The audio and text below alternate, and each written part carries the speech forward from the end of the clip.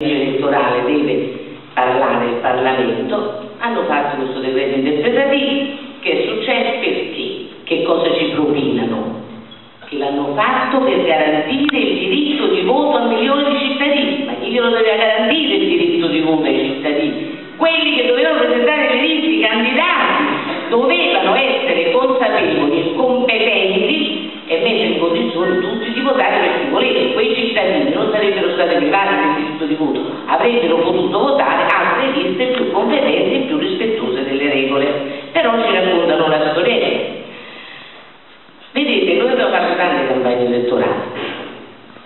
Se a uno di noi fosse capitato un errore, incorrere in un errore come quelli in cui sono capitati questi, non saremmo usciti per la vergogna, non saremmo usciti di casa per tutta la campagna elettorale, perché è un comportamento proprio incompetente.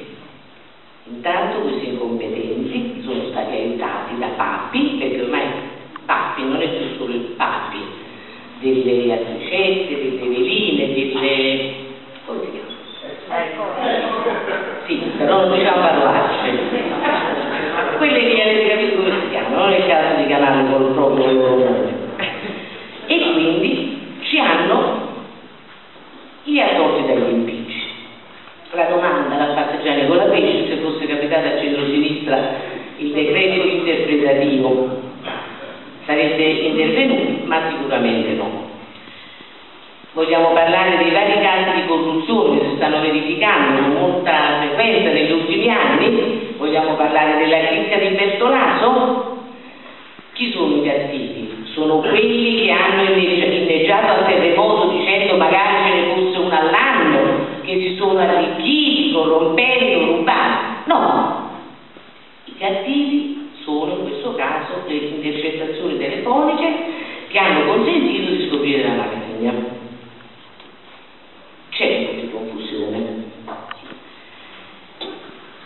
Fino a qualche anno fa chi sbagliava pagava, era un fatto proprio educativo.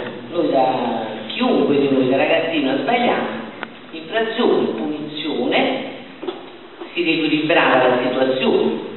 E abbiamo preso i pagliatori noi quando eravamo piccoli, almeno la mia generazione, noi, anche la vostra generazione, magari poi sono intervenuti dei genitori più democratici, proprio il pagliatone non glielo faceva, però c'è poco, una punizione veniva data, si sapeva che sbagliava doveva avere la punizione, adesso queste valgono più.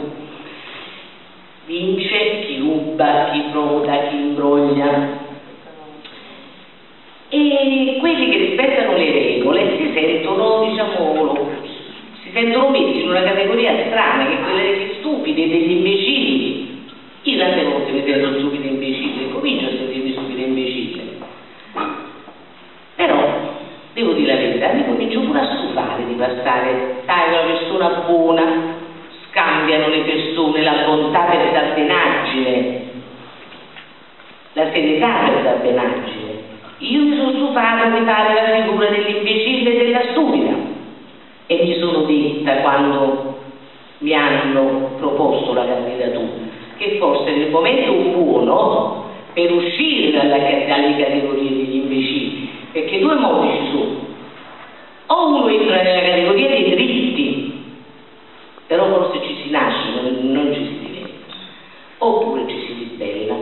questa candidatura io ho cominciato nel caso di, e nel caso di Silvi di tornare a parlare ai miei concittadini di queste cose, di questi valori desueti